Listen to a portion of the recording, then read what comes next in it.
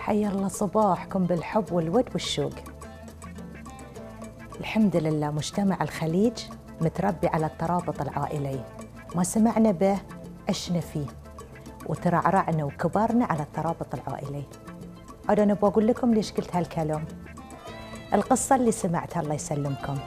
في خوات ثنتين تخالفوا ودار ما بينهم هوشة لسبب معين. وتمت القطاعة ما بينهم أربع سنوات. تعلمني واحدة من الخوات. تقول أنا في منطقة وهي في منطقة بس في نفس الديرة. تقول لا أتصل بها ولا هي تتصل بي ولا تسمع عن أخباري. تقول ما وعيت إلا صديقتي متصلة فيني.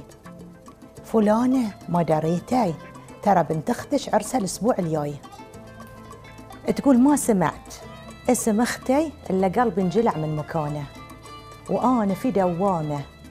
فكري مشغول وقلبي محزون وعيوني تدمع. ولا بعارفة شو اللي خبصني بس من سمعت اسم أختي. كان يوم العرس. أقول حق بناتي تزبروا وتكشخوا إحنا بنروح عرس بنت خالاتكم. كنت قلت حق أبو عيالي وصلنا وفرق ساعة ونص بين منطقتي ومنطقتها. قال لي يا نيتاي يا أم فلان شي وديك ليلة العرس؟ فرضي اللي اختش تجاهلتك هاوشتك اقلطت عليك أو حقرتك مالك سالفة قدام الناس تحرجين نفسك؟ انت نطري لي كمل عرس بنتها روحي البيت لها. وعلى الاقل اللي بيصير ما بينكم الله ساتر عليكم تحت سقف واحد. بين الناس حاول يرددني ما قدر. حاول يخليني أنفل عن قراري ما انفليت. قلت له شوف هذه قراري وأنا اتحمل نتيجته. وحلو على قلبي. قال على كيفش تبين بوديك تقول وداني يوم وصلنا عند الفندق إلا أبو عيالي ما تحرك ورا ما تحركت قال لا خاف الطردك على الاقل براجعك قلت له فولك ما قبلنا. أختي ولا بتطردني ولا شيء إلا روح وتعوذ من إبليس. تقول تبين الصج؟ ما وصلت باب الفندق. إلا شفت إن الخطوة اللي سويتها وايد جريئة. وما في داعي لها. لكن حبي حق أختي خلاني أتجرأ وأسوي هالخطوة برغم كل نتائجها. قلت حق بناتي أنتوا جدموا شوية قبلي وأنا بحاول أتأخر علشان أشوف ردة فعل خالتكم. تقول دشوا بناتي سلموا عليها. تقول اللفات حياداتها وتلملم وتحبب فيهم وتقول حي الله عيال العزيز الغالي يا خويتي. تقول قيث المطر كله نزل على قلبي. تقول ما كنت إني موجودة في الدنيا. تقول وأدخل عليها. تقول اهوى تلمم اهوى تحبب. تشممني. تقول لي شميت ريحة ميمتي فيك ريحة الجنة. كل هالناس كوم ودخلتك علي أنت بكوم. العرس اليوم عندي عرسين عرس بنيتي وعرس دخلتك عليها. تقول تصافينا وتعاتبنا وما حد فينا الغلطان تقول وعرفت إن هالأربع سنين لو العلاقة انتهت بالشكل ما انتهت من قلبي ونفس مكانتها موجودة وما تغيرت عندي. أي على الأخوان والخوات. الأخوان والخوات علاقة حب وحدة ومتقسمة عليهم. دم يجري في الشرايين وعروق القلب. علاقة عمر وعشرة وأيام وسنين متقسمة عليهم. ما يجي موقف في الدنيا ويقطع هالترابط القوي ممكن يهزه ممكن يضعفه لكنه ما يقطعه خاصة إن إحنا متربيين في هالترابط العائلي. وبعلمكم القصة ذي اللي صارت في ديرتي. أخت وأخو. قلوبهم على بعض عرسة ويابا عيال والأخو بخير والبنت ما هي بخير. وحالها جميم لكن الأخو ما هو مقصر عن أخويته. يعتبرها مثل بنيته ويداريها ومحافظ عليها وما يقصر عنها وعن عيالها. لكن من وقف لهم؟ الجنة في الوسط. مرت الأخوة هي اللي وقفت لهم.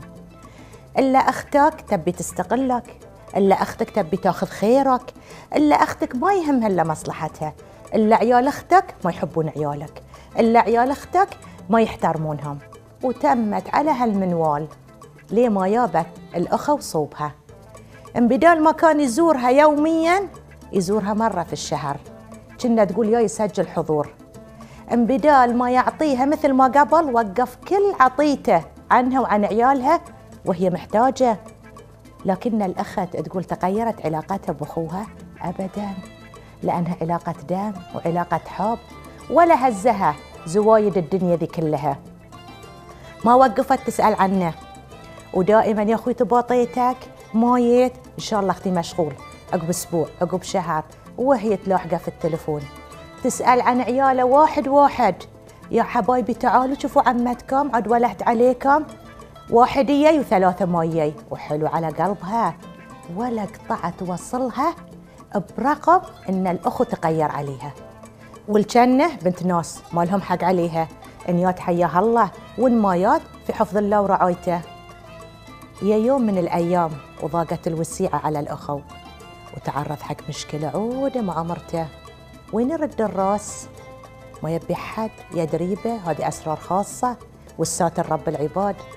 رد الراس حق خويته وفتحت له قلبها قبل لا تفتح له الباب.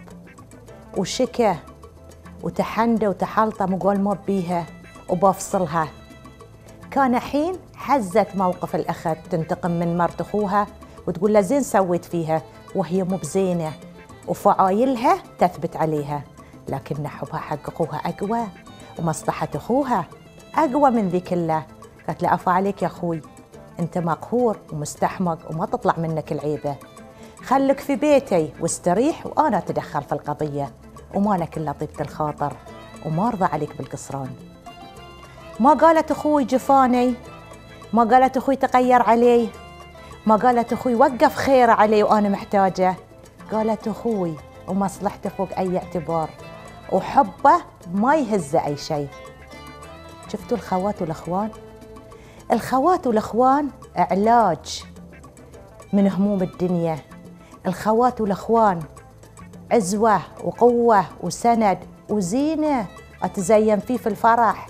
وتباهى بإخواني وتسند عليهم وقت المواقف ووقت الضيق. الأخوان والخوات نعمة من رب العباد. هدية الله عطاني إياها. مكسب في الدنيا. ليش أنا أخسرهم؟ على فلوس أو على موقف أو على كلمة قاصرة أو على كنة قيورة أو نسيب أناني أو على أي سبب من أسباب الدنيا. وأهما نعمة من رب العباد. أنا ترى ما أنكر إن في ناس قطاعتها بينها وبين إخوانها بالعشرات السنين والسبب قوي لكن هل فكرنا أغفر زلة أخوي وجوره وظلمه لأنه هو مهم في حياتي؟ هل فكرت أتقاضى عن زلة أخويتي لأن ما تكمل السعادة إلا بوجودها؟ ليش أنا هالترابط العائلي وأمنع روحي أن أستمتع فيه على شيء زايل على شيء مرد بينتهي ولا مهم في الدنيا. مثل الأخو والأخت. هالدم اللي يجري في قلبي يجري معاه. يحس فيني من غير ما تحكى يهم حزني وهم فرحة. هذه الأخوان والخوات. عضيدي صلاح يقول الله يسلمه الخوات أمهات وصدق الخوات أمهات يملكون نفس إحساس الأم. ويخافون على أخوانهم مثل ما الأم تخاف على عيالها. وأنا أقول حق أخوي صلاح وأقول لكم ترى الأخوان أبهات. وما يتخيرون في إحساسهم عن إحساس الأبهات. في الختام ربي يحفظ لي عضيدي صلاح وعبد الرحمن اللي الله عطاني إياهم هدية واللي هم أبهاتي ما هم إخواني. ويحفظ لي خويتي خلود. اللي الله عطاني إياها هدية. وعوضني بها وما تكتمل سعادتي إلا بوجودها في حياتي. في الختام ربي يحفظ لي أخوانكم وأخواتكم. لا تفرطون في هالعلاقة القوية اللي ما تنتهي بأي موقف في الدنيا. واستودعتكم اللي خلقكم. واحد أحد عيونه ما تنام.